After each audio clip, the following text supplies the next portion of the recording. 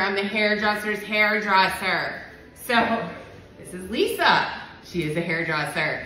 And she showed me, showed the camera that, did you bring, oh, this is an ear, okay. Oh, it's 12, 12. This is what she wants, right? Oh, I don't have problems with cutting bangs. I think Lisa would look super cute bangs because she's got these beautiful blue eyes. But see, Lisa has a really, really strong part.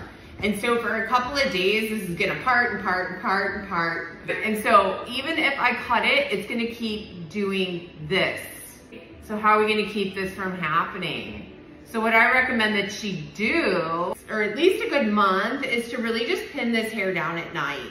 But you could do like this at night oh. with your bangs to redirect and get rid of that cowlick that you've created by parting your hair there for so many years. We're gonna cut them?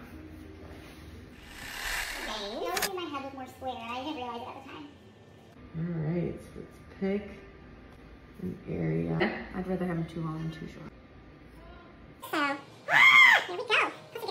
Guys, sometimes I get really scared cutting off people's bangs and it freaks me out, just like it should for most people. And this is how I go about it. So this is the rough cut and then I balayaged her and washed her and then we fixed them up a little bit more. But this is how I go about my consult when I'm explaining like a severe part and what's going to happen. So guys, don't forget, she comes out. She looks absolutely adorable. Don't forget to like, follow, and share. And I got all kinds of goodies in the bio.